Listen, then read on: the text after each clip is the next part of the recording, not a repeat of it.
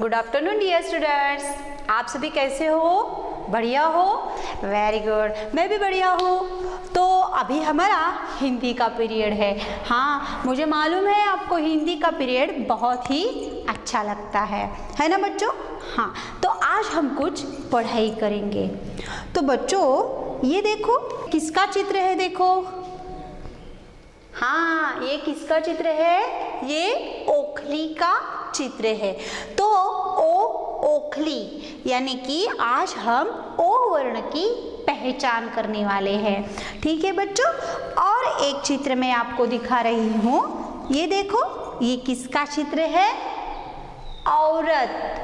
हाँ औ से औरत आती है। तो ये तो जो, दोनों जो शब्द है, ओ से ओखली। तो ओखली शब्द की जो शुरुआत है, वो वर्ण से होती है। ठीक है? और इसके बाद जो और शब्द मैंने अभी बताया, वह शब्द भी औ से शुरू होता है। ठीक है बच्चों? तो देखो, यहाँ पे मैंने ओ लिखा हुआ है तो इसके ऊपर सिर्फ़ एक ही मात्रा आती है। ठीक है? और यहाँ पे मैंने औ लिखा है तो इस पे दो मात्राएँ आती है। ठीक है बच्चों? हाँ तो अभी हम ओ कैसे लिखेंगे? तो आप मुझे बताओ, ओ से सिर्फ़ ओखली, यही शब्द आता है क्या? बिल्कुल नहीं, ओ से कई सारे शब्दों की शुरुआत आती है। तो देखो बच्चों, आपका जो ब बुक है, इसमें देखो यहाँ पे दिखा, दिखाया हुआ है, ओ से ओखली, ये तो अभी हमें मालूम है। हाँ ओ से ओढ़नी हाँ यानी कि दुपट्टा हाँ और ओ से ओस ओस यानी कि जिसको मराठी में दव बिंदु कहते हैं। ठीक है बच्चों? हाँ तो ओ से इतने सारे शब्दों की शुरुआत होती है। उसके बाद औ से सिर्फ़ औरत ही शब्द शुरू होता है क्या? बिल्कुल नहीं। औ से औज़ार औ से औषधि औषधि यानी कि मेडिसिन, ये इतने सारे शब्दों की भी शुरुआत होती है। बच्चों, इतने ही शब्द नहीं, कई सारे शब्दों की शुरुआत ओ और औ वर्ण से होती है। तो अभी आपने देखा कि ओ और औ वर्ण में क्या फ़र्क है, क्या अंतर है? दोनों एक जैसे दिखाई देते हैं हमें, लेकिन इसके ऊपर एक मात्रा है। और इसके ऊपर कितनी मात्राएँ है? हाँ दो मात्रा है। ठीक है बच्चों तो अभी आपकी पढ़ाई कैसे करेंगे आप? बहुत अच्छे से करेंगे। हाँ तो देखो, पेज नंबर हमारा, यहाँ पे हमारा अ बुक है। ये देखो। हाँ और इसके ऊपर पेज नंबर आपको 32 और 33 पे कुछ लिखना है। तो आपको क्या लिखना है? ओ वर्ण लिखना है। ठीक है बच्चों? तो आप आपकी पेंसिल हाथ में ले लो। हाँ और इरेजर का इस्तेमाल हम बिल्कुल नहीं करने वाले। हाँ तो ये ओ वर्ण जो है, यह देख देख कर आपको यहाँ पर अच्छे हैंडराइटिंग में लिखना है। ठीक है? और लिखते समय आपको बोलना भी है। बोलना है आपको? चलो, बोलो मेरे साथ। ओ से ओखली रसोई की शान, पीट पीट कर भी आती काम। तो ये ओखली है, ये रसोई में काम आती है। ठीक है, एक बार फिर बोलेंगे। चलो बच्चों, मेरे साथ बोलो, और आपकी उंगली यहाँ पे रखो। हाँ ओ से ओखली रसोई की शान पीट पीट कर भी आती काम। तो ओखली का इस्तेमाल रसोई में करते हैं। तो पहले हम क्या करेंगे? ओ से ओखली ओ से ओढ़नी ओ से ओस इस तरह से आपको बोल बोलकर ओ वर्ण लिखना है। ठीक है बच्चों? तो ये पन्ना जब आपका लिखकर पूरा हो जाएगा, तब आप यह पेज देखो। यहाँ पे क्या है? थर्टी थ्री पेज नंबर पे हमारी एक्टिविटी है। हाँ? और इससे पहले यह है गृह कार्य। गृह कार्य यानी कि होमवर्क वो तो आप करेंगे। हाँ क्योंकि मेरे, मुझे मालूम है, मेरे सब बच्चे कैसे हैं, बहुत होशियार है। है ना? हाँ तो ये ओखली, ये जो चित्र है हमें, वो कलर करना है। जो चित्र आपको जो भी कलर अच्छा लगेगा, जो भी रंग अच्छा लगेगा, वो उसमें अच्छे से भर दो आप और इसको कलर करो, ठीक है? पर काले इस कलर का इस्तेमाल हम नहीं करेंगे। काले रंग का इस्तेमाल हम नहीं करेंगे, ठीक है बच्चों? तो ये ओखली तो देखो एक्टिविटी पढ़ो मेरे साथ, क्या है? Colour the picture and write the correct letter in the box यानी कि आपको ये ओखली का जो चित्र है, उसको कलर करना है। ठीक है? और यहाँ पे क्या लिखना है? कौन सा वर्ण लिखना है? ओ वेरी गुड तो ये देखो, मैंने आपके लिए ड्रॉ किया है ओखली का चित्र। अच्छा है ना? हाँ और आप यहाँ पे लिखोगे ओ। ओ से ओखली इस तरह से आप लिखोगे, ठीक है? तो हमारा ओ वर्ण की पढ़ाई अभी पूरी हुई हाँ? तो इसके आगे हम देखेंगे औ वर्ण। बहुत ही कैसा है? सीधा साधा है ओ की तरह है, लेकिन इसके ऊपर कितनी मात्राएँ आती है? दो मात्राएँ आती हैं, ठीक है बच्चों? तो देखो औ से औरत। औरत? मालूम है आपको? हमारी माँ भी औरत है है ना?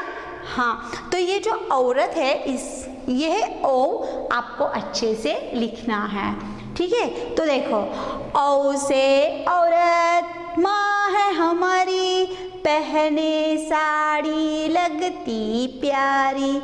तो हमारी माँ कौन है? औरत है और वो क्या पहनती है? साड़ी। और दिखती कैसी है? बहुत ही प्यारी। हमें हमारे माँ बहुत प्यारी लगती है है ना? हाँ तो यहाँ पे यह चित्र दिया हुआ है औरत का, यानी कि माँ का, ठीक है? तो ये औ आपको अच्छे से यहाँ पे पेंसिल से लिखना है। हाँ तो मैं यहाँ पे आपको लिख कर दिखाती हूँ कि किस तरह से आपको औ लिखना है। तो देखो बच्चों, यहाँ पे हम लिखेंगे। हाँ।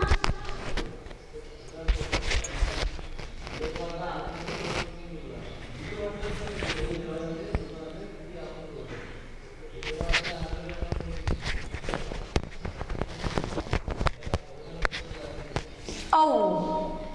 औ से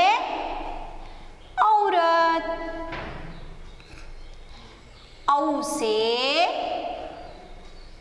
औरत। तो बच्चों, मुझे ये बताओ कि औ से सिर्फ़ औरत, यही शब्द शुरू होता है क्या? बिल्कुल नहीं। तो औ से कई सारे शब्दों की शुरुआत होती है। हाँ औ से औज़ार, औ से औषधि, ये भी शब्द औ से ही शुरू होते हैं। औ वर्ण से ही शुरू होते हैं। ठीक है बच्चों? हाँ तो यह औ से औरत यह आपका लिखकर पूरा होने के बाद हम आगे जाएँगे। तो यहाँ पे आपको क्या करना है? गृह कार्य होमवर्क वो तो बहुत आसान है है ना? हाँ और यहाँ पे है एक्टिविटी तो एक्टिविटी में क्या लिखा हुआ है देखो? Stick the picture of your mother and write the correct letter in the box यानी कि आपको अपनी माँ का फ़ोटो आपके माँ माँ का फ़ोटो आपके पास होगा, है ना? हाँ तो वही फ़ोटो आपको यहाँ पे चिपकाना है। हाँ यहाँ पे आपको चिपकाना है। और उसके बाद यहाँ पे आपको क्या लिखना है? औ। क्या लिखना है? औ। औ वर्ण आपको यहाँ पे लिखना है। इस प्रकार। यह पहले हम अ लिखेंगे। हमें आता है अ। उसके बाद हम देंगे खड़ी लाइन। हाँ खड़ी रेशा लिखेंगे। और इसके ऊपर हम दो मात्रा देंगे। कितनी मात्राएँ देंगे? दो मात्राएँ देंगे। देखो बच्चों, आ गया सभी को? हाँ तो यहाँ पे देखो कि आप सोचोगे कि कर्णिका मैडम ने इससे पहले सिर्फ़ एक एक ही वर्ण हमें सिखाया था या पढ़ाया था। हाँ लेकिन आज मैंने दो वर्ण लिए हैं। कौन से दो वर्ण लिए हैं? ओ और औ। तो क्यों लिए मैंने दो वर्ण? बहुत ही आसान है, क्योंकि यहाँ पे जो ओ वर्ण है और औ वर्ण है, इनमें सिर्फ़ एक ही मात्रा का अंतर है। हाँ यदि आप देखोगे तो देखो यहाँ पे यहाँ पे एक मात्रा है और यहाँ पे कितनी मात्राएँ हैं? दो मात्राएँ हैं। तो एक मात्रा ओ पे और दो मात्रा ओ पे बहुत ही आसान है। और इसमें इसीलिए मैंने ये दो वर्ण आज आपको पढ़ाए हैं। इनकी आपको पहचान करवाई है। और आपको डरने की कोई बात नहीं है। हाँ आप, आपके पास बहुत समय है। ये जो पढ़ाई है, ये आप धीरे धीरे करोगे तो भी कोई बात नहीं। लेकिन अच्छे से करो गुड हैंड राइटिंग में करो। ठीक है बच्चों? हाँ तो हमारा ये अ बुक का वक्त तो हो गया है, हो गया है। हाँ और अब हमारा ब वर्क भी कंप्लीट हुआ है, ब वर्क वर्क, ठीक है? हाँ तो इसके बाद बारी आती है हमारे नोटबुक की बारी आती है है ना? हाँ तो इस पे आपको इस तरह से दो बार ओ लिखना है। कितनी बार लिखना है? दो बार। और लिखते समय जिस तरह से मैं बोलती हूँ, ओ से ओखली, ओ से ओस, ओ से ओढ़नी इस प्रकार आपको बोल बोल कर लिखना है। ठीक है? हाँ। इसके बाद, ओ के बाद हमने कौन सा वर्ण सीखा आज? औ। तो ये भी आपको कितनी बार लिखना है? दो बार लिखना है। और ये औ लिखते समय भी आपको बोलना है। औ से औरत, औ से और क्या आएगा? औज़ार। हाँ औ से औषधि। हाँ ये लिख बोल बोल कर आपको लिखना है। ठीक है बच्चों? हाँ तो यहाँ तक आपकी पढ़ाई अभी पूरी हुई है। इसके बाद बारी आती है हमारे वर्कशीट की। हाँ हमारे स्कूल का नाम क्या है बताओ? मालूम है ना आपको? हाँ तो हमारे स्कूल का नाम है rotary English medium school Khed हाँ? तो यहाँ पे आप सभी पहली कक्षा में हो और हमारा पीरियड कौन सा है? हिंदी का। तो यह ओ से ओठ भी आता है। ये ओ वर्ण है और यह यहाँ पे है ओखली। तो यहाँ पे आपको ओ अच्छे से लिखना है गुड हैंड राइटिंग में लिखना है। ये देखो किस तरह से है। हाँ उसके बाद यदि आप पेज टर्न करोगे तो आपको यहाँ पे भी तीन चित्र दिखाई देंगे। पहला चित्र है ओस का। हाँ उसके बाद है ओट हाँ और उसके बाद है ओम हाँ तो आपको पहला अक्षर सिर्फ़ लिखना है ओ। ठीक है? हाँ। और आप यदि अच्छे गुड हैंड राइटिंग में लिखोगे तो मैं आपको देने वाली हूँ हाँ बड़ा स्टार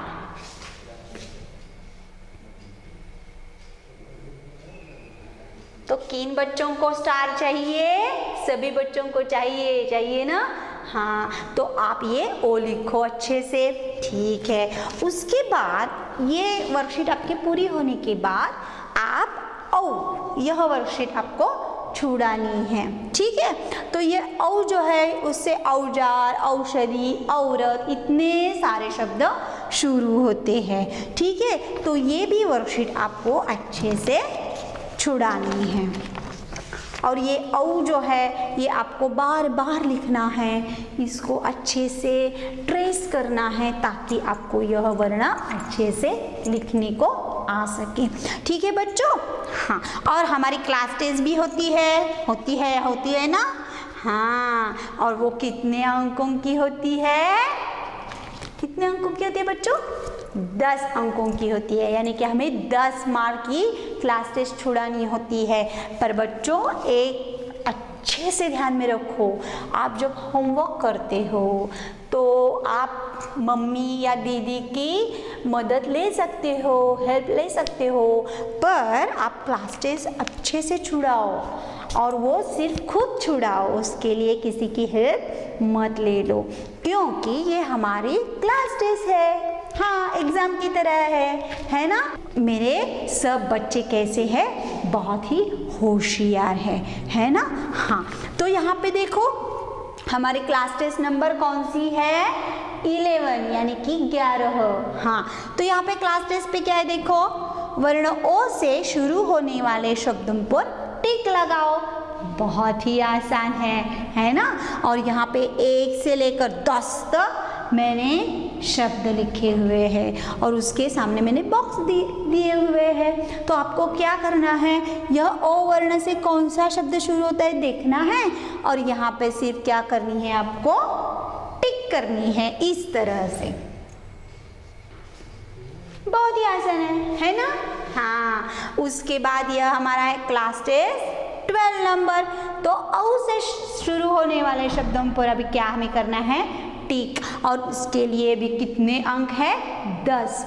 तो यहाँ पे भी आपको इसी प्रकार छुड़ाना है। जी शब्द की शुरुआत औ वर्ण से होती है। उस शब्द के आगे जो बॉक्स है बॉक्स है ना यहाँ पे? हाँ तो उस पर आपको सिर्फ़ टिक करनी है। और जो औ से शब्द शुरू नहीं हो रहे हैं, अलग वर्ण से शुरू हो रहे हैं, उनको कुछ मत करो, वो बॉक्स ऐसे ही खाली रहने दो। ठीक है? हाँ तो अच्छे से आपकी पढ़ाई करो, अपना खुद का ध्यान रखो और अच्छे से क्या करो? पढ़ाई करो। ठीक है बच्चों? धन्यवाद।